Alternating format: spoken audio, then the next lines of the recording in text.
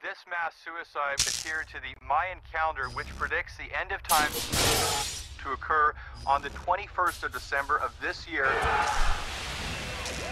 This year. This year.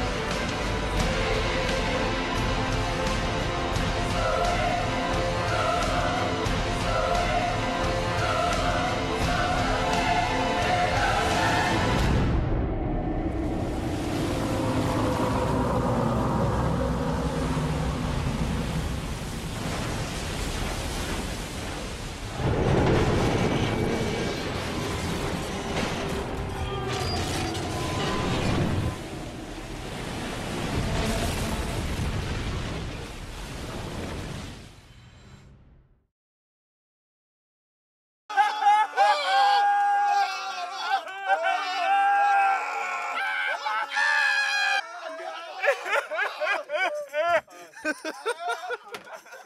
it. We're gonna make it. We're gonna make it.